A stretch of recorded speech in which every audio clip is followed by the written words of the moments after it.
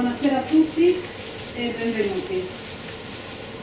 Con oggi eh, l'incontro definisce l'inizio di una ulteriore fase del piano regolatore, della stesura del piano regolatore. Infatti abbiamo deciso di mettere insieme due momenti. Da un lato eh, la presentazione di Alberto Del Panta che è eh, il professionista, l'architetto, al quale abbiamo deciso di dare l'incarico per proseguire il lavoro di facilitatore di problema più facile. Abbiamo scelto Alberto perché Alberto ha partecipato a tutta eh, Problema più facile, quindi l'ha vissuta in tutto il suo percorso e ci sembrava opportuno che eh, qualcuno che conoscesse cosa era successo, quali erano i presupposti che avevano strutturato e definito questo percorso partecipativo lo traghettasse e continuasse il lavoro di eh, definire l'identità di questo che dovrebbe essere un contenitore all'interno del quale vanno a confluire tutte le eh, varie progettazioni e iniziative che caratterizzano l'amministrazione, anche se ad oggi ospita eh, solo il piano regolatore e tutto quello che noi stiamo costruendo nel piano. Quindi questa è una prima parte. La seconda è quella invece relativa alla presentazione degli scenari che facevano parte del, eh, dell'incarico eh, e del disciplinare di incarico eh, che hanno sottoscritto i professionisti che hanno vinto il bando per la redazione del piano regolatore e poi vi mostreremo un elaborato in fase di redazione, nel senso che abbiamo deciso, visto le modalità con le quali abbiamo condotto fino ad oggi il lavoro, di non presentarci con una bozza, cioè con eh, il piano struttura definito, ma con una bozza in itinere, cioè in un momento intermedio, proprio perché dal nostro punto di vista questo dovrebbe aiutare a scaturire, a generare una discussione, un dibattito su quelli che sono eh, i punti che noi abbiamo e consideriamo fondativi per il nuovo piano regolatore. A fianco a questo però vogliamo anche presentarvi stasera il RAP, che è il rapporto ambientale preliminare. Faccio questa specifica perché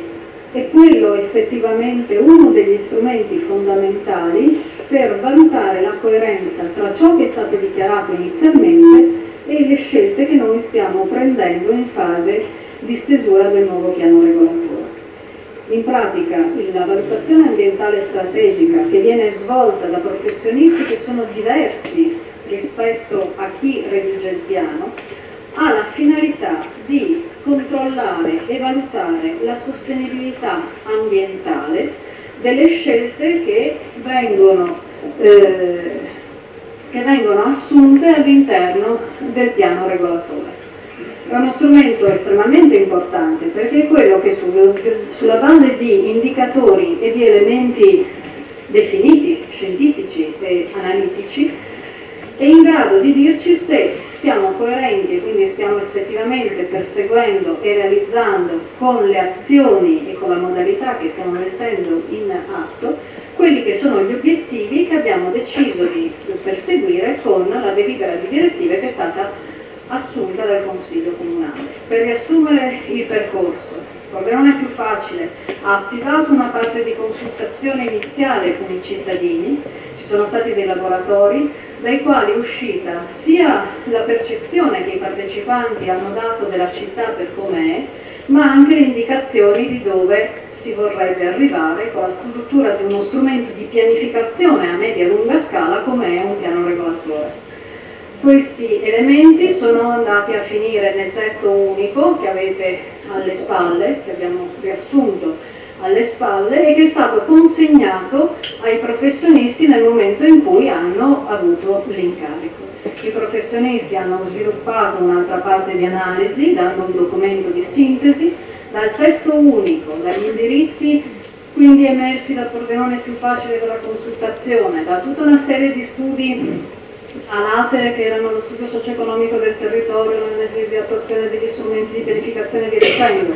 e dal documento di sintesi ne è nata, ne è scaturita la delibera di direttive che è il documento politico col quale il Consiglio Comunale ha detto questi sono gli indirizzi che dovrà avere il piano regolatore e che ha fatto sue le indicazioni del testo unico, cioè il Consiglio Comunale ha accolto quelli che erano gli indirizzi che uscivano dal percorso partecipativo di Pordenone più facile, facendoli propri con una delibera, cioè con un atto ufficiale.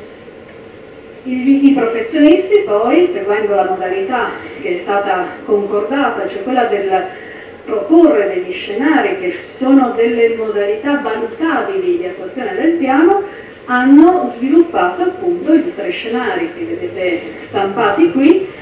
e eh, hanno poi nel frattempo elaborato ulteriori analisi e studi propositivi. A fianco a questo parallelamente si è sviluppato con altri professionisti che eh, stasera ci racconteranno appunto quelle che sono le loro analisi, hanno sviluppato il rapporto ambientale preliminare che è lo studio che è stato fatto direttamente sugli scenari per valutare la compatibilità ambientale, la sostenibilità ambientale degli stessi rispetto a quelli che sono i principi della valutazione ambientale strategica.